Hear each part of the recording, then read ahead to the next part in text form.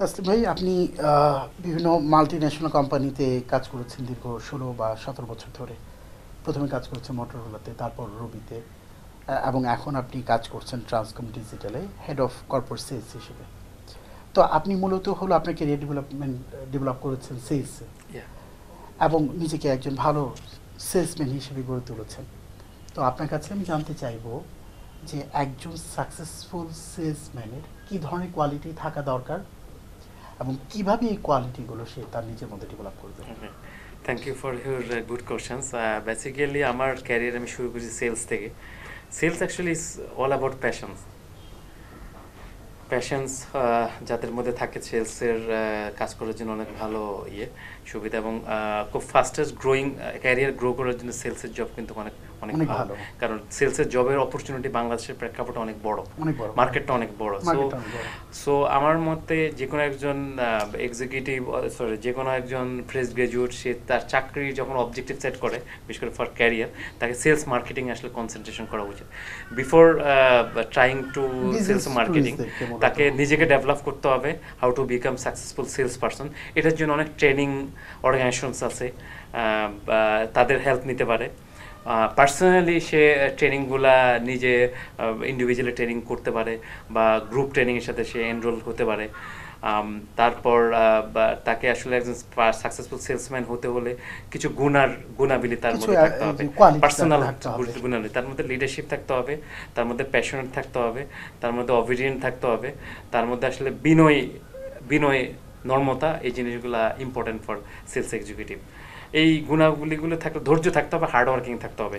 এবং সময়ের আসলে মূল্য বুঝতে হবে যেটাকে সময়ানুবর্তিতা আমরা বলি।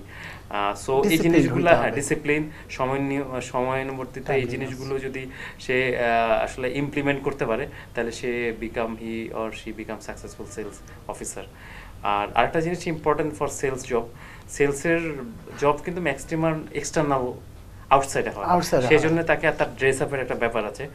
তাকে আমি যদি এভাবে বলি তার appearance-টা ভালো হতে হবে, হতে হবে। গুড লুকিং গুড লুকিং থেকে সবথেকে পরিষ্কার পরিচ্ছন্ন। এবং তাকে ফ্রেশ কোথাও যেতে হলে তার ড্রেস আপের একটা ব্যাপার আছে। অনেক ক্ষেত্রে মানুষ একটা কথা আছে আগে দর্শনদারি পরে গুণ পরে গুণ বিচার। সো আমার যদি আউটলুকিং যদি আমার ভালো না থাকে আমি কোথাও কিন্তু অ্যাপয়েন্টমেন্টও করতে পারব না অথবা কোথাও ফার্স্ট মিটিং কিন্তু আমি ভালো করতে পারব ফার্স্টে অ্যাপ্রোচটা ভালো হতে হবে how to set an appointment how to contact a good appointment within the short time অথবা টাইম ফ্রেম এই জিনিসগুলো যদি মেনটেন করতে পারে যে কেউ সেলসের জবের জন্য খুব ভালো। তার মানে আপনি কয়েকটা বিষয়কে এমফেসিস করছেন হ্যাঁ, এগুলো important, আমি যেগুলো যেটা করেছি। হবে বিভিন্ন বিষয়ের উপর ট্রেনিং নিতে হবে। তাকে সেলসের অনেক অনেকগুলা আপনার প্যারামিটার আছে লাইক সেলসের অনেকগুলো উইংস থাকে যেমন আপনার corporate sales B to B retail sales আপনার এসএমই সেলস আছে আপনার ডিস্ট্রিবিউশন সেলস আছে আপনার অনলাইন সেলস আছে সেলসের অনেকগুলা পার্ট আছে।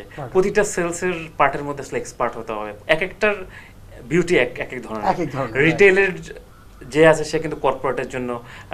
এক না। মানে প্রতিটা কাজের আসলে কেপিআই কি হ্যাঁ। রেসপন্সিবিলিটি এরিয়া ডিফারেন্স থাকে।